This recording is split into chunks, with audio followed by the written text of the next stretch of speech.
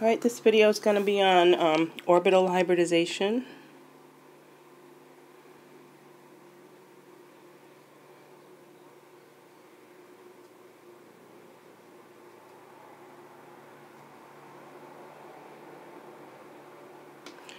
And um, I'm going to do two examples on the video. The first one is going to be SF5. And SF5 uh, has sulfur as its central atom. And then uh, the electron configuration for sulfur in the valence shell 3s2, 3p4. And pardon me, um, I do have a cold. You can probably hear that. Alright, um, next step then is to look at those six electrons for sulfur. One, two, three, four, five, six. And then um, put them around the central atom. You also have one more because it's got a negative charge on it. So FS6 has negative charge. Then um, go ahead and make your bonds to fluorine. I like to put them next to each other. One, two, three, four, five, something like that and then that helps me identify how many lone pairs there are. So it'll be F. F's going around. And you do want to put in your lone pairs. One, two. It's hard to do this with the stylus, but there's six. One, two, three, four, five, six. Two, three, four, five, six.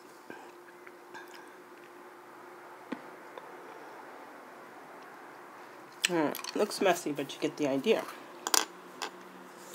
So um, you can see that you have uh, one, two, three, four, five, six pairs of groups of electrons. One is a lone pair group. And um, the next step then is to say that if there are six groups of electrons,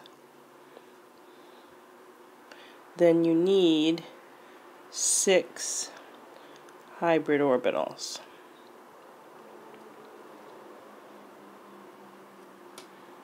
Okay, the hybrids are just going to be the mixing of the atomic orbitals. Okay, so you need six hybrid orbitals. So you can count them out or you can just write it this way. Um, so it's going to be S P, you can say 1S, 3 P's, and 2 D's. And, um, so you can see that number adds up to 6. So there's gonna you're going to combine 1S, 3 P's, and 2 D's to get uh, 6 um, SP3D2 hybrids. So you say times 6, the number, you need 6 of them. Alright, so that's where we're headed. and we want to write out the electron configuration and start with um, sulfur, just unhybridized, 3s, 3p, 1, 2, 3, 4, 5, 3d, 1, 2, 3, 4, 5, um, 6, 1, 2, 3, 4, 5, 6, and then there's one more 7, which is that extra electron. you can put that one in red. That's the, oops, that's the extra electron right there. Alright, so we know what we need, which is uh, two Ds to be populated. So you're going to promote, you're going to add energy and pop an electron from the S over to the D. And then you can take one of these other two electrons, maybe this one, doesn't matter which one, and put it over there. so that's going to be your strategy.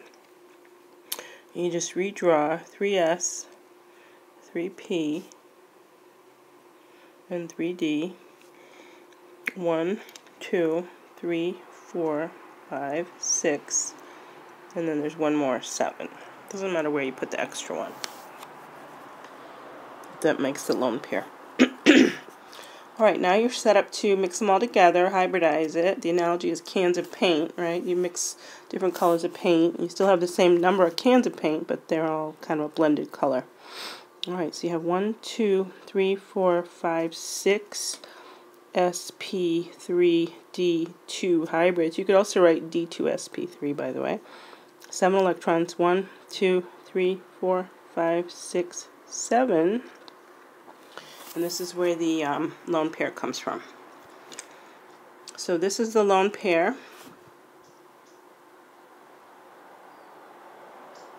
And then these five can make five sigma bonds. They're available to make five sigma bonds. Alright, so then the next step is to draw it.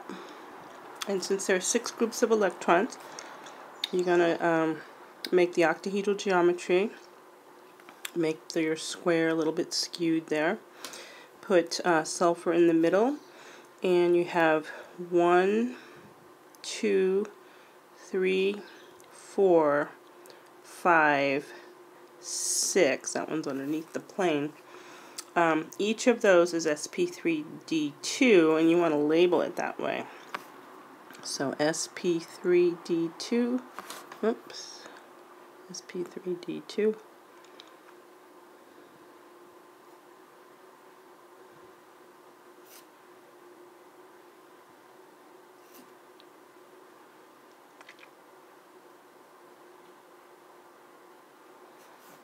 Okay, and then there's one lone pair. You can go ahead and put it down here. So just make the two electrons here.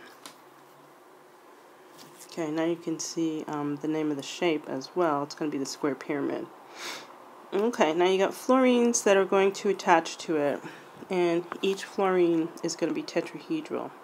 If it's tetrahedral, the shape, the uh, hybridization is sp3. You got to know that from the chart. You got to you got to know all that stuff from the chart. So um, there's five of them, right? So there's one, two, three, four.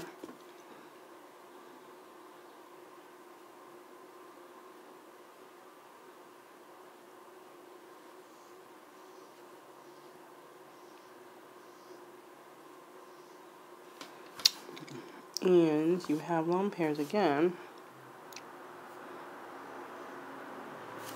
Each fluorine has three lone pairs or six lone pair electrons.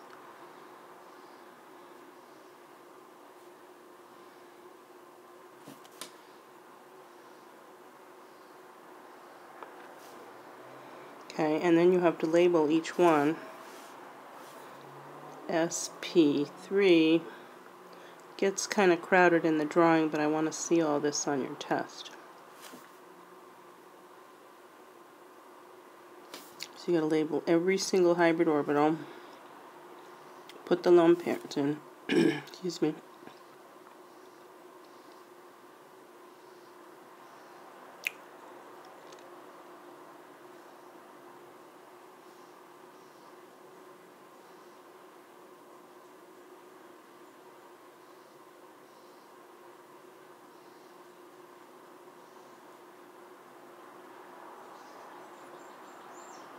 Just go around.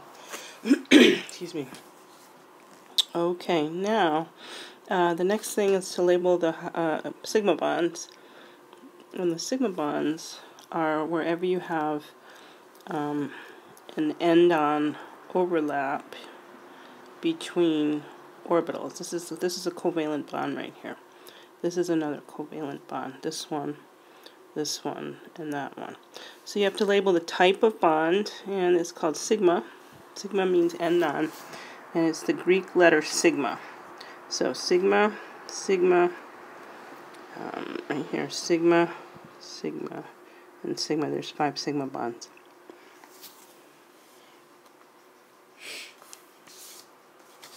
That's the answer.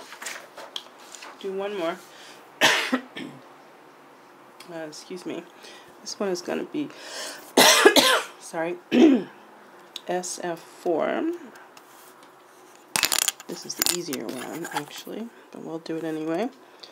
So we have SF4, and we have the same thing that sulfur is uh, 3S2 and uh, 3P, let me get rid of that, sorry. 3P4, that's its um, ground state electron configuration. Do the Lewis structure. sulfur in the middle, one, two, three, four, five, six in this case, making one, two, three, four bonds, and you have a lone pair.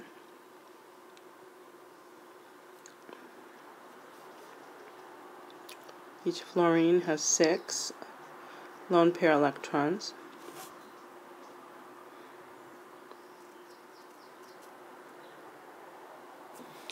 Like that. Okay, that's the Lewis structure. Alright, now we know we have five groups of electrons.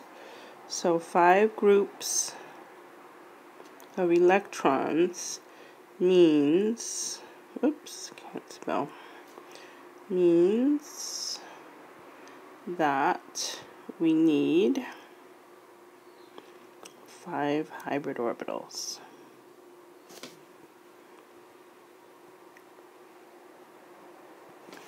Okay, and you count them out. S, you're going to mix three P's and one D, so it's a total of five. So we say SP3D, whoops, didn't mean that one, D, or we say DSP3. It doesn't matter which way you say it. So this is the type of hybrid, and you need five of them.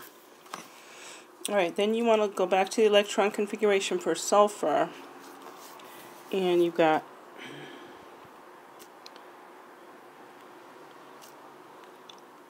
nope sorry. Okay I'm gonna sneeze.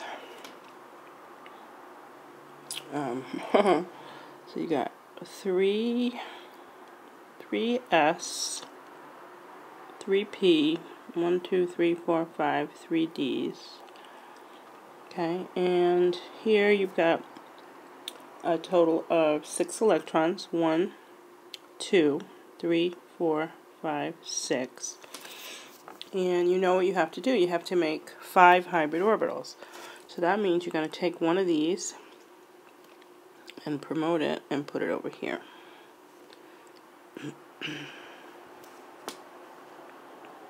in the next step. So you just redraw it, 3S, 3P,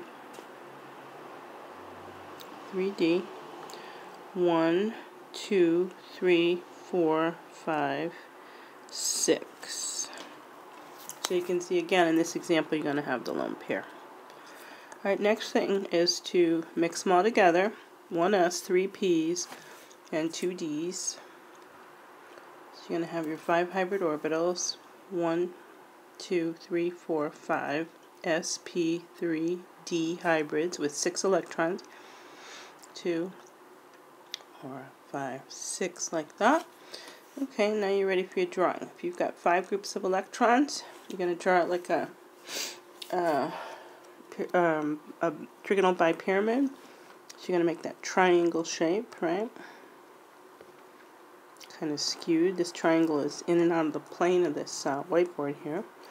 And you have sulfur in the middle. You're making five groups of electrons. So it's going to be one, two, three, four, five. Okay, and then you've got um, four bonds to fluorine. So if you remember in class, we talked about the lone pair is going to be in the plane of the triangle. So you got F, one, two, three, four. These are sp3 hybrids.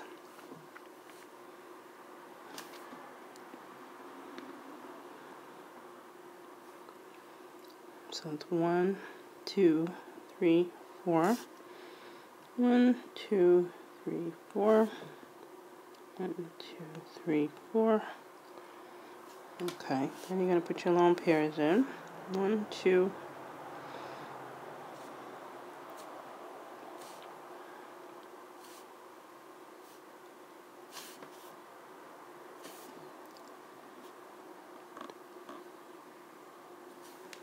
Okay, then, and you're going to label, the fluorines have sp3 hybridization,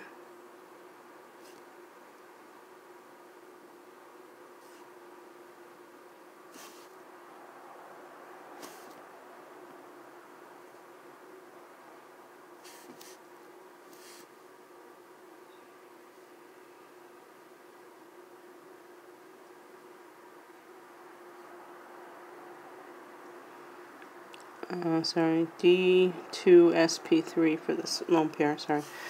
Uh, SP3, SP3. If you have colored pens, it's easier for me to see that you've got all the parts here. Then for the sulfur, it's D2SP3 or SP3D2.